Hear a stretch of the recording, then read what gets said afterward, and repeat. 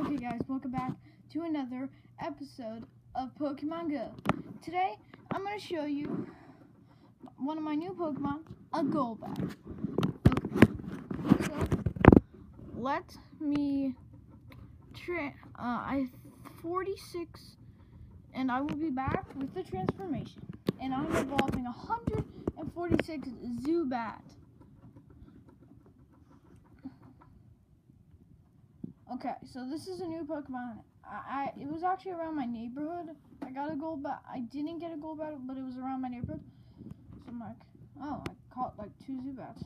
Okay, so this is the new addition to the team, a Golbat. I used 50 candies to get it. And I also used a little app I found. Uh, I will show you that in another video. So guys, have a great time, and bye.